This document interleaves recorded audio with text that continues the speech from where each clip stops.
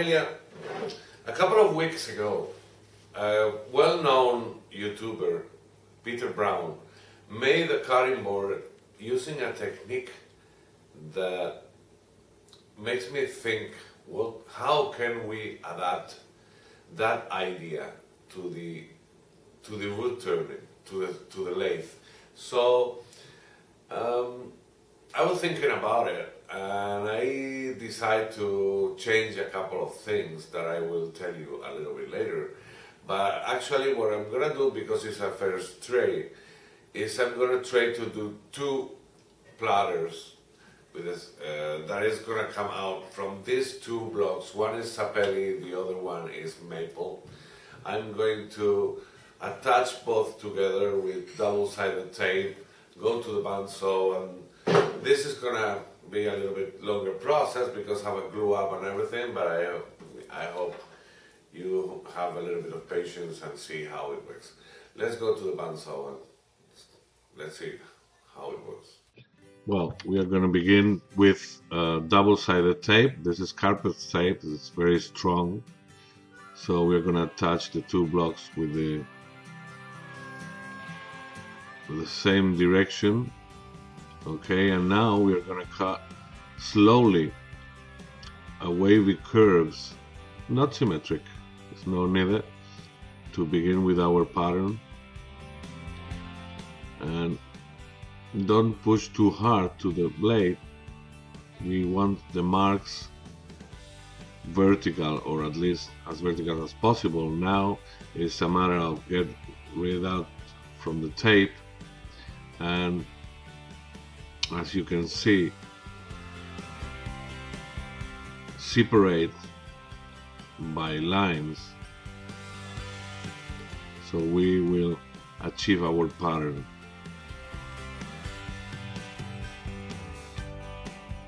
Once we are done we are going to glue it up with plenty of glue because the, the glue is going to act as a lubricant and it's going to help to align all the pieces in place even the marks of the of the so, the bandsaw are to match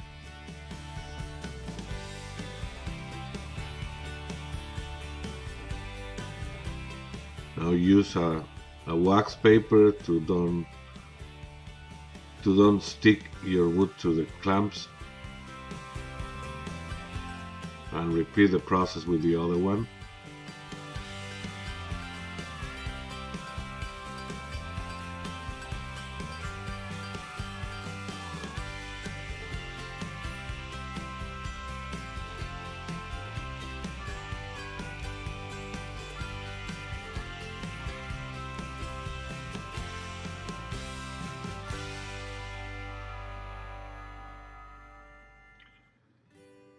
Clamp it and once we are done with this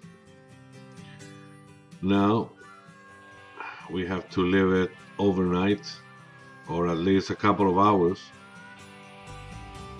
And we are gonna scrape the excess glue.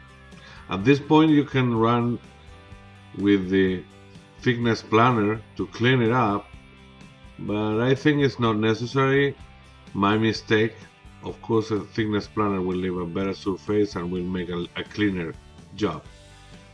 And we repeat the process in the other direction.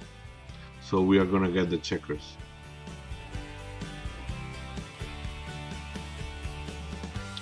As you can see, we, we will achieve the checkers wobbling or crazy checkers or drunken or whatever you want to call it and repeat the process with the glue up. Exactly the same, with plenty of glue.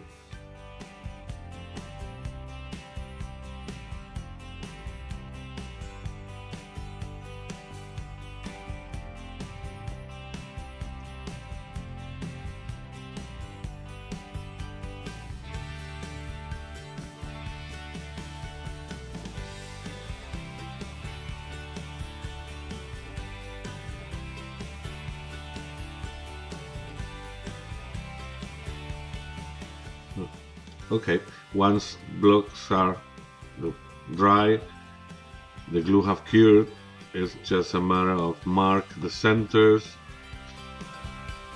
and use a compass to draw the, to draw the circles and uh, then go to the bandsaw and cut the circles. I jumped this step. And now I'm gonna uh, make a hole in the center for about three quarters of an inch to use the worm screw. Please use your full face mask when you're at the lathe because possibly, you know, if the glue didn't set in a good manner, can any piece can fly away from from the from the block. So it's you have to pay attention to security. And then I'm gonna mark the recess to mount on the on the on my chuck and I'm gonna I'm gonna do a ogee shape that we also saw in a video not long ago. So I'm not gonna I'm not gonna go deeply in the shape you know. We did it very detailed in a previous video. So it's just uh, uh, my choose for this job because of the soft of the curves of the ogee shape will help to to see the, the wavy curves of the glue ups.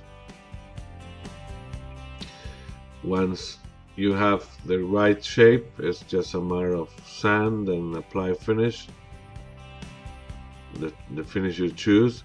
If you don't have a, or even if you have a, a dust collection, it's, it's a good idea to wear a mask and now is the process to hollowing with the mask again of course.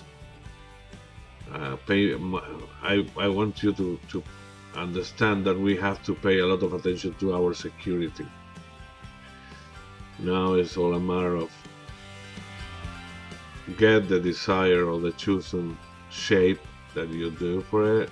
In my case it's a shallow bowl or a deep a deep platter whatever you want to call it. And once you have, when I achieve the right depth, just add a feature and ring to give a little bit more personality and that is a matter of sanding and finishing and we are done. Well, this is the result. Okay. This was the one you was.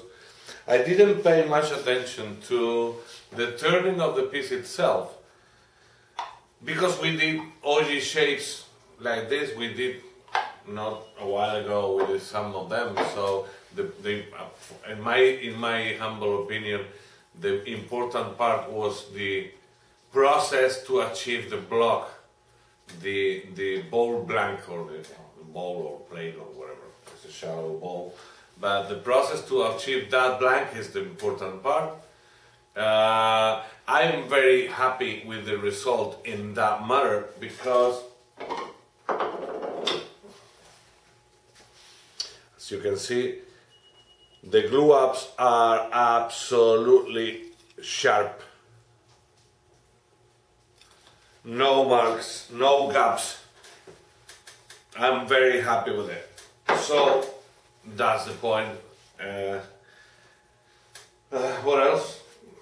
I hope you enjoy it, and uh, as I always say, any any comments, any doubts, any suggestions, you can leave a comment below. Uh, subscribe if you didn't, please, and if you want to help the channel, you have a Patreon link down below. I see you on Friday with a follow up of this project.